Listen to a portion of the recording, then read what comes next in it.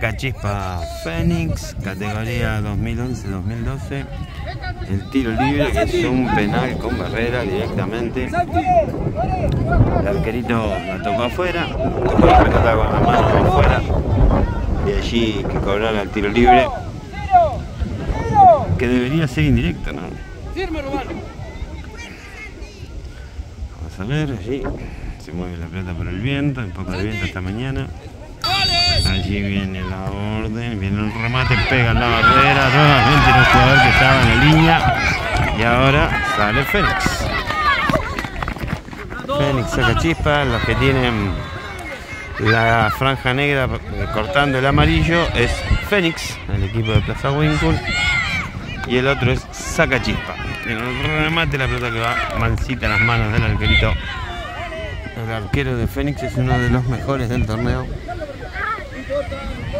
Tomás Concordano, el arquerito de Fénix, uno de los mejores arqueros del certamen, muy buen porte físico, seguro, seguro en las salidas también.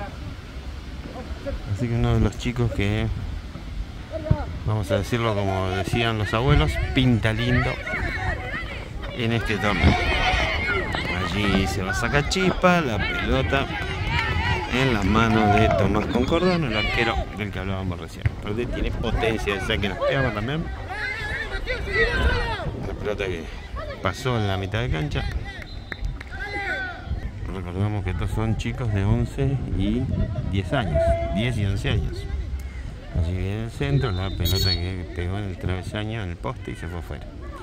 Así que es corner para Fénix. Viene el, el tiro de esquina. Viene el corner para Fénix, la pelota que vuela.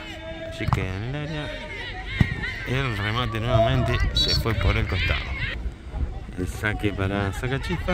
Para. Sí, Sacachispa, correcto. Viene allí Fénix. Allí recupera Fénix, intenta progresar en ataque. Borde busca por la derecha. Nuevamente el pase. Corta que le queda Fénix y el gol de media distancia. El remate desde afuera del aire, la pelota que fue a rastrón y se le metió al lado de un palo al arquerito. Gol de Fénix.